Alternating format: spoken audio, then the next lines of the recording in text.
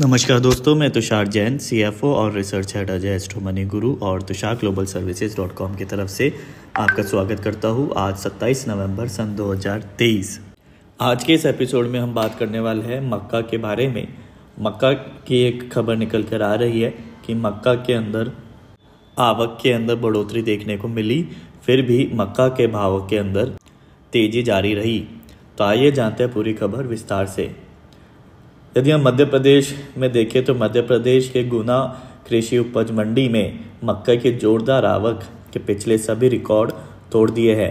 आवक बढ़ने के बावजूद दाम में तेज़ी का रुख दिख रहा है। मक्का ने इस बार किसानों, व्यापारियों और मंडी प्रशासन को मालामाल कर दिया है। और ये स्थिति उस वक्त देखने को मिली जब अक्टूबर के महीने में सरकार ने मंडी टैक्स में लगभग आधा प्रतिशत की कमी आधा प्रतिशत की कमी कर दी थी। एक अक्टूबर से 10 नवंबर के बीच 70 दिनों में मंडी को लगभग चार करोड़ रुपए मंडी टैक्स मिला है। पहले टैक्स की दर डेढ़ प्रतिशत थी, वह घटकर एक प्रतिशत रह गई है। इसके बावजूद अक्टूबर में लगभग दो दशमलव चार चार करोड़ मंडी टैक्स वसूला गया है। बीते साल 2022 की तुलना में 38 प्रतिशत ज़्यादा टैक्स वसूला गया है। नवंबर के पहले दस दिनों में लगभग एक दशमलव चार शून्य करोड़ रुपए मंडी टैक्स मिला है। वही यदि पिछले दस दिनों की बात करें तो मंडी में लगभग इकतालीस हज़ार क्विंटल उपज की आवक हुई है, जिसमें से अकेले मक्का की आवक तैंतीस हज़ार क्विंटल रही है। अक्टूबर से नवंबर में चौदह लाख क्विंटल की आवक हुई, उसमें अकेले मक्का की नौ लाख क्विंटल यानी कि पैंसठ प्रतिशत हिस्सेदारी रही है। खरीफ सीज़न में अब तक मक्का की इतनी आवक दर्ज नहीं की गई थी। इस बार सोयाबीन की फ़सल पर मक्का हावी है। मक्का की जोरदार आवक के बावजूद दामों में गिरावट नहीं दिख रही है। रिकॉर्ड आवक के बावजूद मक्का को उसके सरकारी दाम से डेढ़ सौ रुपये अधिक मिल रहा है।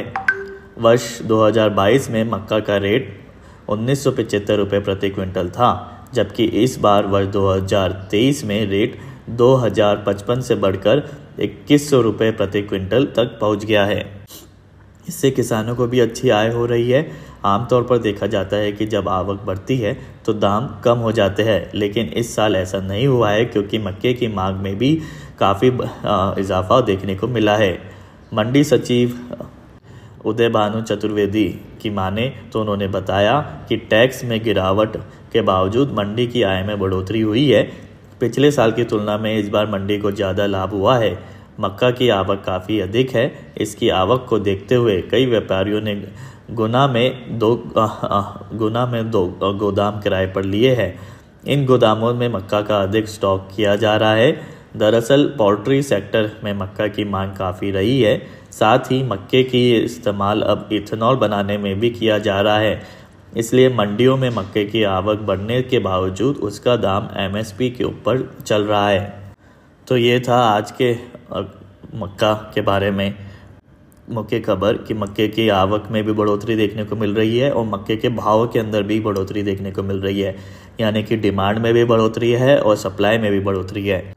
इसी के साथ ही मंडी टैक्स में भी गिरावट देखने को मिली। डेढ़ प्रतिशत से एक प्रतिशत कर दिया गया है। उसके बावजूद मंडी के टैक्स कलेक्शन में भी बढ़ोतरी देखने को मिली है, क्योंकि ओवरऑल टर्नओवर के अंदर इजाफा देखने को मिला है। तो ये था आज का एपिसोड। उम्मीद है आपको इससे लाभ होगा। और मक्का के अंदर आगे क्या हो सकती है? तेज़ी या फिर मंदी? उसके लिए आप हमसे हमारी पेड सर्विसेज़ के लिए भी संपर्क कर सकते हैं। तो आज के एपिसोड में इतना ही। आप देखते रहिए जय Money Guru. Thank you and good day